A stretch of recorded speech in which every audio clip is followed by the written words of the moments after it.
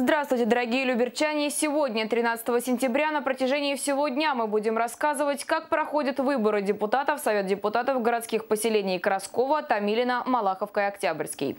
О том, как начали работу избирательные участки, нашей съемочной группе рассказал председатель территориальной избирательной комиссии по Люберецкому району Валерий Иванов. Территориальная избирательная комиссия проводит выборы Советов депутатов, организует и проводит выборы Советов депутатов в городских поселениях Малаховка и Краскова.